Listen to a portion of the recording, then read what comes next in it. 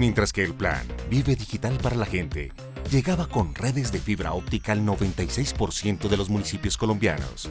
En simultánea, ideaba un ambicioso proyecto para conectar a las poblaciones restantes y alcanzar así la meta de conectar todo el país.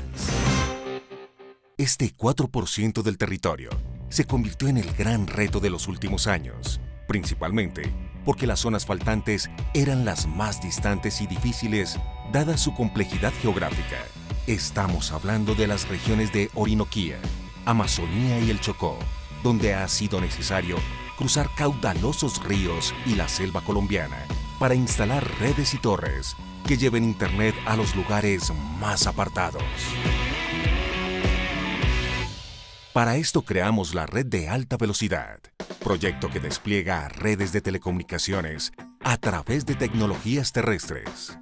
También era necesario que las comunidades beneficiadas pudieran apropiarse de la tecnología, por lo que este proyecto también incluye servicios que garanticen el acceso e información de los ciudadanos a través de zonas Wi-Fi gratuitas.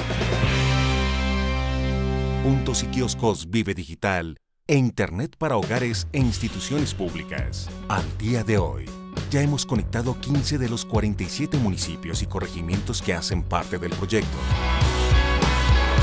Un importante avance para el cumplimiento de la meta, que espera cerrar este 2017 con el 100% de municipios del país conectados. Tecnología en la vida de cada colombiano.